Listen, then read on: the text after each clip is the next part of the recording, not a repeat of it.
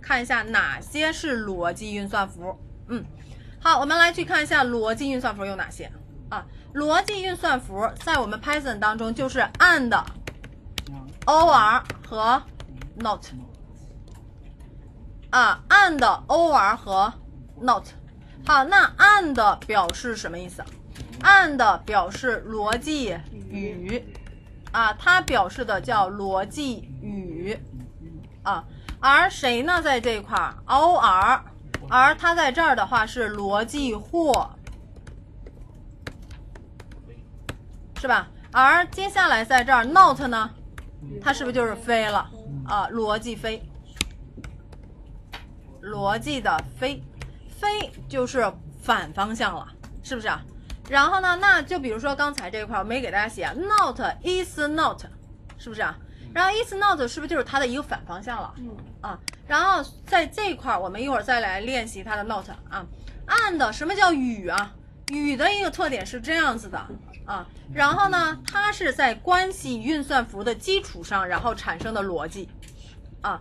逻辑运算符的结果啊叫逻辑，是吧？然后逻辑运算符的这个运算结果啊叫运算结果，然后也是返回什么的？true or false，也就是说它返回的肯定也是 true or false，就这两种结果，你也不用想其他的了。而这两种结果跟我们的关系运算符又有结又有这个什么呢？相对应的地方啊，它是什么意思呢？它在这块是这样的，说逻辑语是什么意思啊？它指两边同时为真，结果即为真。那也就是说，左边是真，然后 and 谁呀、在这儿？右侧为真，结果就为 true，其他情况下都为 false。其他情况，那其他情况是指什么情况？这样吧，我不用井号了，我用三引号啊，写起来比较麻烦。这个啊，好，那接下来的话，其他结果是指什么结果呢？只要有一个为假，是不是结果就为假了？嗯啊，所以在这块儿把它剪到这儿来啊，然后有这个，还有谁了？true and 谁呀、在这儿？false 是不是就是我的左右两边有一个是假了？嗯结果即为谁呀、false 假。然后呢，我在这儿 true 不是 true 了，这就是 false。and 谁呀、后边是 true 然后接下来在这一块儿就是一个 false。那一个为假都是假了，俩假就更假了呗。是不是？然后 a a a l s and 谁呀、在这儿叫 f a l s，是不是叫 false？嗯所以结果也是谁了 false？false。好，那也就是说，逻辑运算符是这样子的啊，只要有任何一边儿，这两个一边儿，你可以认为一个叫左侧，是不是啊？还有一个叫右侧，而左右两边进行比较，对吧？而那左侧和右侧又可以是什么呢？左右两侧肯定是真假的一个运算。比如说，我在这儿可以写八大于八大于十吗？and 然后呢，五六小于八吗？对吧？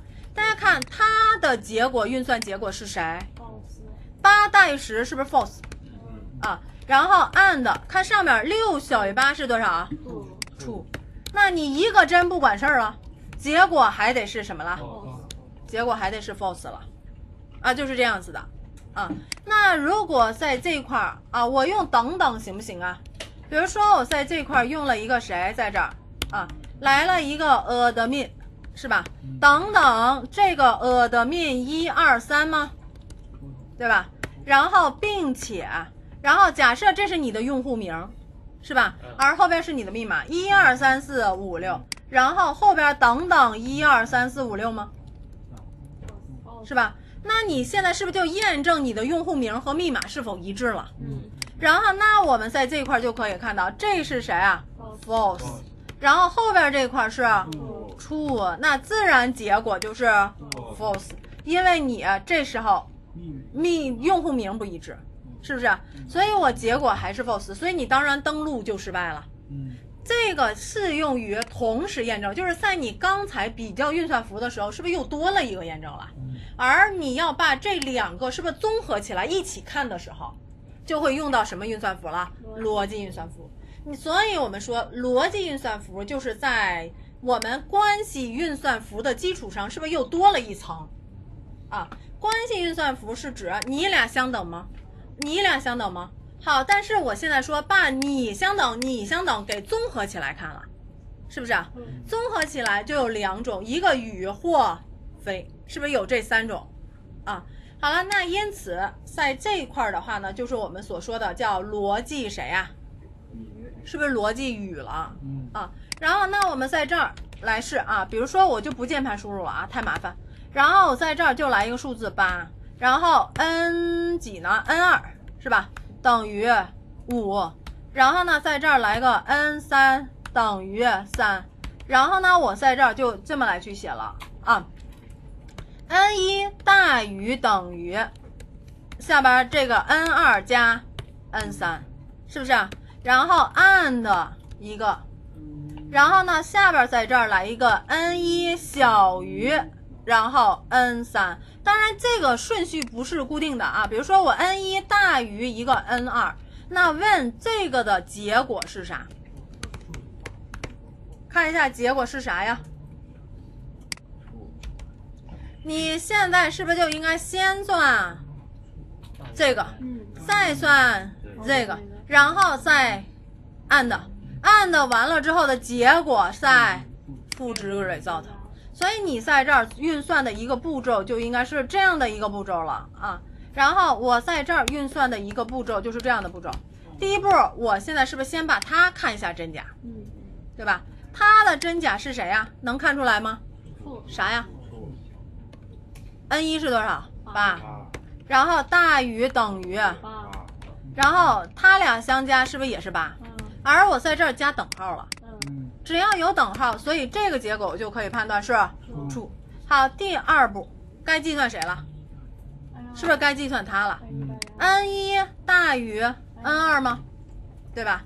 然后它的结果是 n 一是几啊？八大于 n 二是五。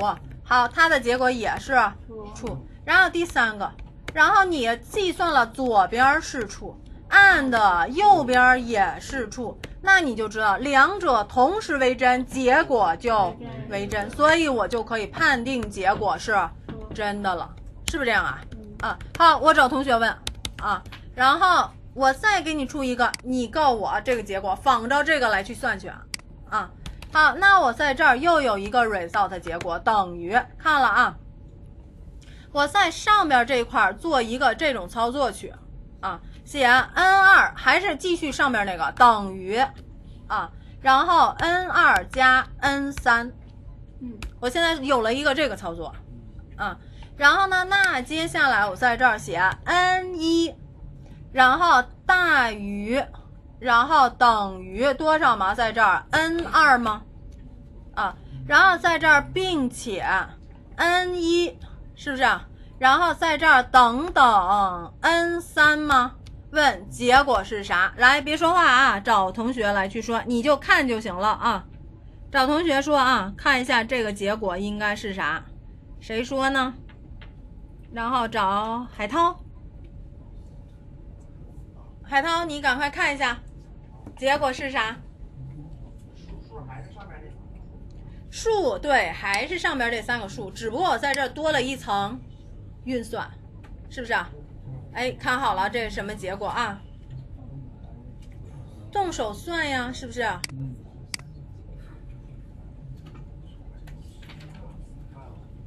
是什么？这个结果。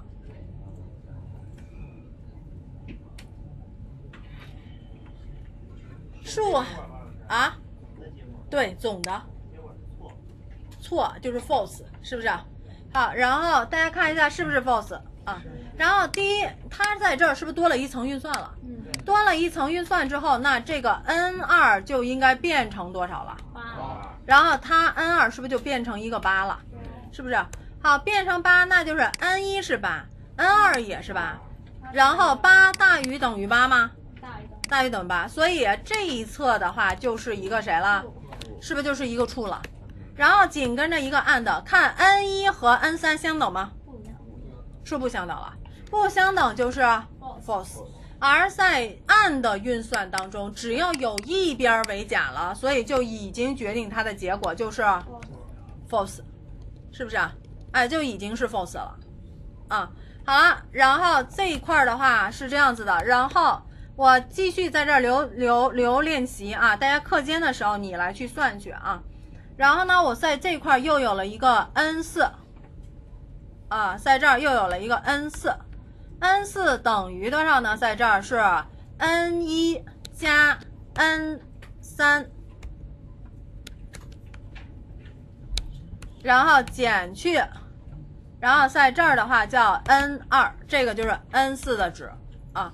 然后我现在来去算这个 result 结果，result 结果呢，我说 n 四是小于 n 一的，然后并且，然后呢，我在这儿写 n 四加上 n 三，然后是大于，我给你加个括号啊，n 四加 n 三肯定是大于 n 二的。好，然后看这个是多少，大家先休息一会儿，你只是怎么计算出来的呢？我们来去看一下这个结果啊。然后首先你要计算出 n 四是多少才行，是吧？嗯，因为到这一步的时候，n 二已经是八了，对，吧？嗯所以你在这儿一定要 n 一是几？八，八加三是十一，十一减八，是不是？其实这个 n 四是不是也是三了？嗯，啊，所以你的这个 n 四值就是三，而如果它是三的话，说 n 四是三，三小于 n 一，是不是对的？嗯啊，所以它是 true。然后这个是三加三，六，六大于 n 二，它这个的话 n 二是几？八，六大于八是 false，所以这个结果应该是几啊？false，是不是？好了，那接下来的话呢，我们就知道这个是这么来去运算，然后我们再来去看下一个啊，下一个的话呢，我们还有一个叫逻辑谁啊？或是不是？好，那或是表示什么意思呢？它在这儿的话，是不是就是或者了啊？在开发过程当中，我们说了，如果你的用户名和密码同时成立，那我认为你就登录成功了。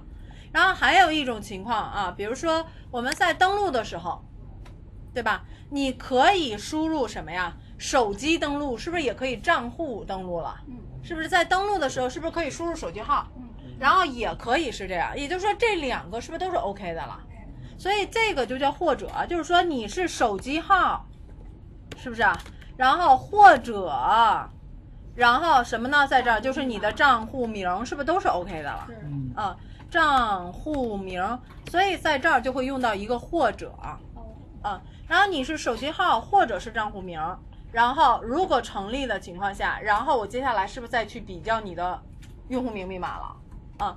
所以在这儿怎么来去用或？先说一下这个或啊，这个 or 的话呢，它是只要有一边为真，结果即为真真，只要有一边儿，然后叫谁为真啊？它的这个结果即为真啊，真是不是就是 true 了嗯啊？只要有一边为 true，那它结果就是 true 了啊。所以大家在这一块来去看啊，我们下边在这一块的话呢，就可以这么来对它进行一个呃计算啊。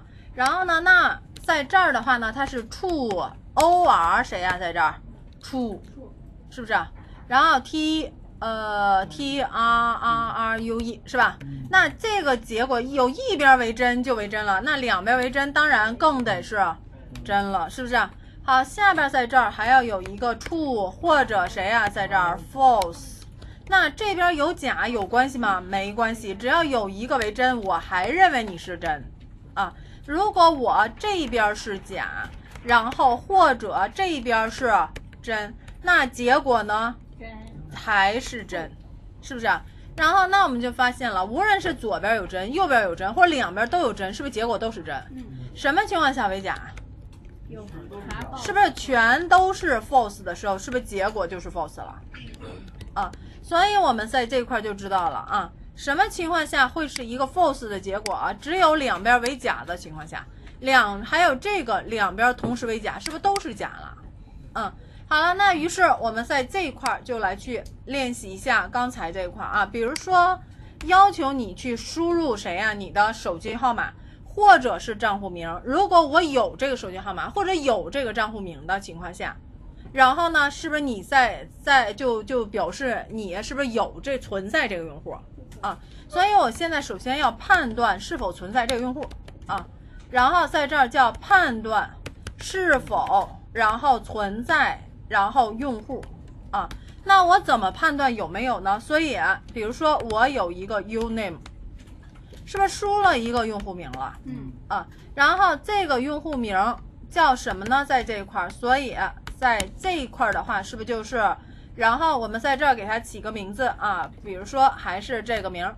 好，那接下来的话呢，我又输入了一个手机号码，假设，那你你因为在一个文本框里面，这个人是不是有可能去输用手机号码，也有可能去输这个用户名去，也就相当于你在登录的时候，你在用户登录的时候，它是不是经常会提示？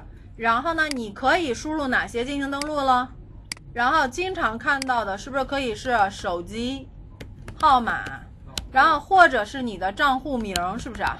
啊，账户，然后或者是如果有邮箱的话，是不是也可以输入你的邮箱登录了？然后紧跟着是不是再去输谁去啊？密码，然后再来进行一个登录提交了，是不是这样啊？好，那这些是我们经常会用到的一些逻辑部分啊。好，那在这个逻辑当中，我会先怎么做呢？我会先判断有没有这个手机号码，或者有没有这个账户，或者有没有这个邮箱。你肯定会在这个框里面输入这三种当中的任何一种，对吧？所以你在这个框里面，比如说我在这儿输个谁，我输个邮箱行不行？或者我输个账户名，或者输个手机号码，这三样是不是任何一个都行了？那我接下来是不是就要去数据库找了？那我应该怎么来进行匹配呢？比如说我在这儿输的是，然后邮箱是不是？邮箱当初是 QQ，我随便写的啊，at QQ 第二 com，对点儿 com，是不是我就是拿 QQ 注册的了？嗯啊，好，那于是我在这儿是不是就进行这个验证了？来看啊，然后呢，那在这块儿我就不不写手机号码了啊，假设就是邮箱，而我接下来的话呢，是不是键盘输入的是这个邮箱了？而我的用户名是不是没有输入？因为你只有输邮箱，是不是用户名默认就是没有的了？啊，然后那我接下来没有，那就没有了啊，就是空字符串儿假设。那于是我在这一块儿是不是就要进行判断了啊？判断一下你当前有没有这个用户，那有没有我是不是就要跟我曾经数据库里的进行比较了？我们没有数据库，我们只能把它定义死啊。比如说我当前的 user name 等等等等的话，是不是就进行比较判断了？我当初注册的时候叫 admin 一二三，那你接下来是不是没有输入？没入输入，是不是用户名就是空的了？对，啊，然后叫或者，然后 email，然后 email 就是你刚才变量等等，你刚才的一个邮箱号码了，是不是？好，那我在这儿就把这个邮箱号码给它粘过来。那大家可以看到，这时候它的一个判断说，如果你输用户名了，那邮箱就是空的；如果你输这个谁了，输邮箱了，是不是用户名就是空的？总之，在一个框里面，是不是只能选择一种？啊，好，那于是我在这儿的话就进行比较了。那这个比较的结果会是谁呢？是不是这个就是我的 result 结果了？啊，那此时的 result 结果会是什么？大家说这个结果会是什么呢？是不是这时候的一个结果是不是就是 true 了？啊，我把上面这个先给大家注释了啊。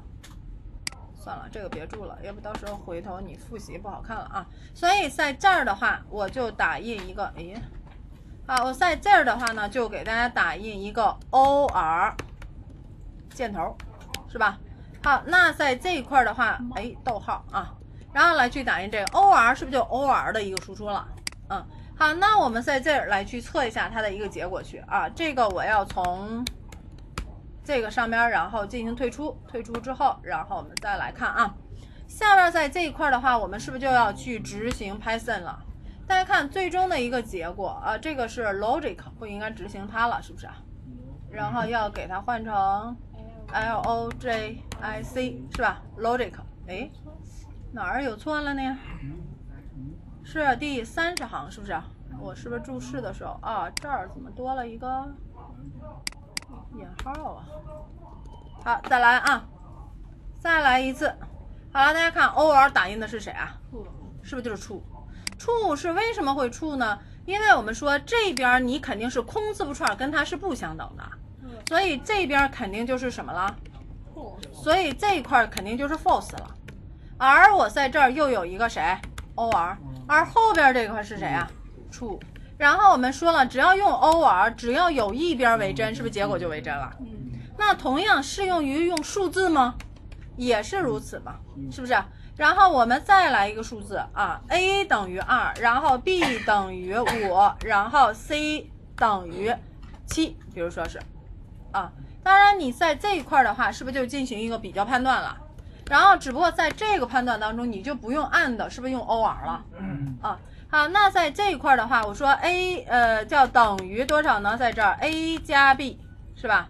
然后在这儿的话呢是不等于七，or 下边在这一块不等于七，写错了，不等于 c 是吧？嗯，然后在这儿我又 c 大于 a，问这个结果会是谁呢？所以我接下来在这儿是不是就是第二次的 or 的打印了？嗯，是不是？第二次的一个打印的话，那这个结果会是多少呢？我把二打在这儿吧啊。好，大家看这次的结果会是谁啊？啊，这次打印的结果啊就是 true，为什么？因为我 c 大于 a 是不是真的？对，只要有一边为真，是不是结果就为真了？啊，好了，那 not 呢？not 是干嘛用的？飞，啊，非的话，它这这一块儿怎么来去用啊？比如说我有一个有一个结果啊，然后我有一个 flag 啊，f l a g flag 结果，然后这个结果啊就是一个 false，然后呢，我在这儿说，我在这儿叫 not